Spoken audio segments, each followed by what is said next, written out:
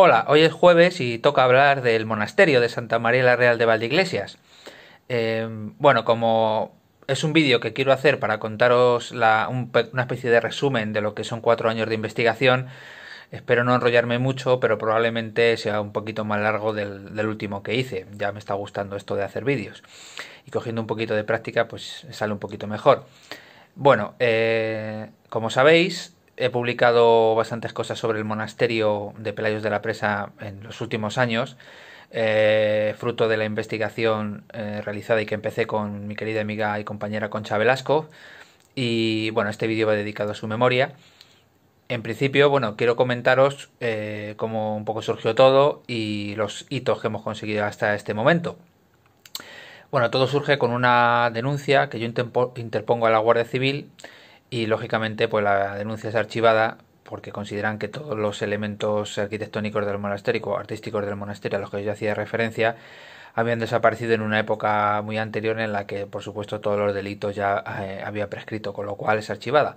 Pero a partir de ahí, pues Concha y yo nos ponemos a, a pensar, bueno, ¿y por qué no buscamos nosotros información, documentación, todo lo que podamos encontrar para localizar algunos elementos artísticos del monasterio de Santa María la Real que eh,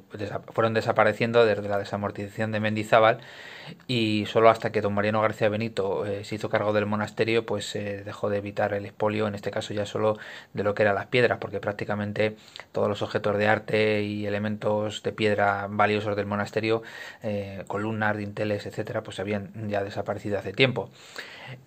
como os digo bueno pues todo empezó buscando documentación a través de internet eh, y luego ya, pues, eh, gracias a doña Valentina Gómez Manpaso,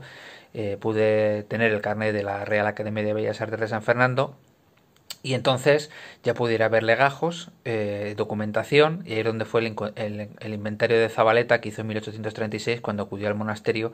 a recoger las pinturas, esculturas y otros objetos de importancia que había en el monasterio. Bueno, eh, fruto de esta investigación eh, empiezan a surgir varios hilos. Entonces uno de los hilos fue localizar, eh, gracias a los periodistas de A21 que hicieron un, vídeo a Mariano en el monasterio sobre un programa de misterio que iban a realizar, y ese vídeo que estaba perdido en una carpeta de un ordenador, grabado con un móvil,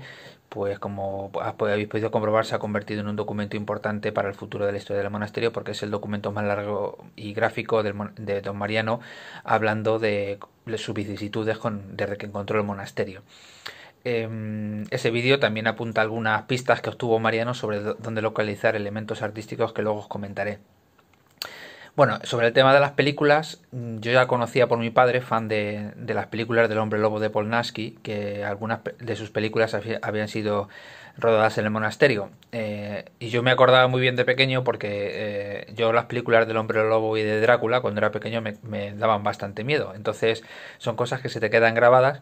Y bueno, buscando por internet, pues fui encontrando las películas de Polnaski, pero luego, bueno, empezaron a surgir las sorpresas cuando eh, descubro que bueno hay actores como Josh Pepper del equipo A o de Desayuno con Diamantes que estuvo en el monasterio grabando, gente como Raquel Welch, eh, Val Reynolds, eh,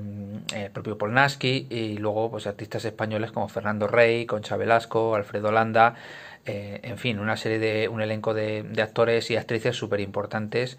que aunque las películas muchas de ellas no son de gran valor digamos artístico pero sí guardan por ejemplo muchas imágenes y de gran importancia para, para trazar una especie de línea de tiempo donde se pueden observar unos, algunos objetos a los que haré referencia luego y otros que luego mm, no están cuando después de que se han grabado las películas. Eh, pero en realidad los dos primeros documentos que encuentro eh, eh, cinematográficos sobre el monasterio son el famoso vídeo del nodo, que estuvieron en la, comarca haciendo un reportaje sobre el río Alberche, y luego la, película en blanco y negro de Blancheville Monster, que bueno, fue una total sorpresa y que además reúne casi unos 30 minutos de, grabación dentro del monasterio en diferentes escenas que se hicieron allí. Con lo cual ya tenemos pues los dos primeros hitos, que son descubrir el, el, el vídeo de don Mariano García Benito grabado en el monasterio y por otra parte todas las películas que estaban un poco olvidadas y que afortunadamente pues como eh, habéis visto podéis encontrar en mi canal de YouTube, ¿no? Bueno, en paralelo a esto surge eh, eh, y del inventario de Zabaleta pues empiezan a surgir preguntas, ¿no? De eh, vale, qué pasó con todas estas pinturas, qué pasó con todas estas esculturas. Y bueno, como habéis visto, pues ya hemos publicado la noticia de, de, los relieves. He redactado un artículo para el periódico A21 que cuando consigamos las, eh, eh, las fotografías o el permiso del Museo del Prado, os contaré en mucho detalle cómo fue esa investigación y cómo conseguimos más o menos mm, descifrar que esos dos relieves, Jesucristo con la cruz a cuestas y la piedad, podrían haber pertenecido al monasterio de Santa María la Real de Valdeiglesias por otra parte, en el listado de Zabaleta hay alrededor de unas 70 eh, eh, pinturas que siguen totalmente desaparecidas y de las que solo hay constancia que tenemos eh, las de Juan Corre de Vivar, que unas están en el Museo del Prado y otras están en el Museo de Santa Cruz de, Toledo. Y estas además se pueden visitar porque las del Museo del Prado eh, desafortunadamente están en, un almacén y en cambio en el Museo del Prado sí se pueden ver las pinturas de Juan Correa de Vivar que estuvieron en el monasterio de Guisando y además eh, son bastante impresionantes. Eh, bueno, por seguir la línea de investigación, pues sabéis que en el claustro plataresco alto del monasterio había un total de 36 columnas, con sus correspondientes capiteles y, el digamos el perímetro que cubría los eh, dinteles era un total de 90 metros 90 eh, metros que se puede calcular fácilmente con una aplicación SIGPAC. Y que de, eso he tenido varias pistas y estamos estudiando eh, posibles localizaciones donde pudieron llevarse todas esas columnas dinteles y capiteles. Lógicamente hay una larga lista de objetos que mm, algunos son mencionados en el libro de la hermandad de, de San Blas eh, pues eh, los órganos, las campanas que hubo en el monasterio, de los que los propios azulejos talaveranos, de los que eh, no hay mucha información, aunque es, posible que alguna pista en el futuro se pueda se encontrar. Y de hecho, bueno, habéis conocido la noticia del fallecimiento del marqués de Griñón, eh, que tenía su residencia en la aldea del Fresno y, es posible que el marqués de Grillón se haya llevado por desgracia a la tumba algún, algún, eh, alguna noticia, alguna información que él pudiera tener sobre la localización de los azulejos talaveranos que estuvieron en el monasterio. Pero bueno, eso seguiremos tirando del hilo cuando podamos con sus eh, familiares y descendientes por si ellos pudieran saber, saber algo. Por otra parte, también falta, por ejemplo, una cabeza de, de San Bernardo, de una de las estatuas, que por ejemplo, pues eh, eh, antes y después de la película de la noche de Walpurgis se podían comprobar que estaban todavía en la fachada barroca del monasterio y en la última escena de la noche de Walpurgis ya se, ya se ve que no están que no están en la fachada del monasterio, o sea que más o menos se puede estimar que estas desaparecieron alrededor de 1868-1869. En cuanto a la portada renacentista, que habéis visto el artículo que publiqué en, A21 hace un par de años, eh, más o menos, eh, por la información que yo he ido obteniendo, el, señor, eh, el marqués de Comillas, se las llevó alrededor de, los, de los años 50. Eh, bueno, pues la investigación continuará porque también, eh, como sabéis, la Virgen de la Asunción que coronaba la fachada eh, barroca junto a San Benito y San Bernardo también se encuentra desaparecido, pero también nos anunció que tengo buenas pistas de dónde puede estar localizada y en cuanto pueda, pues confirmaré si es donde creo que está y lo haré público y tomaré, informaré a las, a, las instituciones oportunas para que en algún momento en el futuro pueda ser devuelta al monasterio de Pelayos de la Presa. Otro elemento importante de la investigación es eh, a ver eh, porque siempre se hablaba de, bueno de que el, monasterio fue desamortizado y fue pasando de mano en mano hasta que lo compró don Mariano García Benito alrededor de 1974 pero nunca se hablaba en concreto de quiénes habían sido los propietarios. Entonces yo he conseguido el documento de la propiedad desde 1885 eh, en adelante y os puedo comentar que el primero que compró el monasterio, 30 años después de que fuera desamortizado, fue eh, eh, el señor don Ignacio Escolar López, el marqués de Valdeiglesias,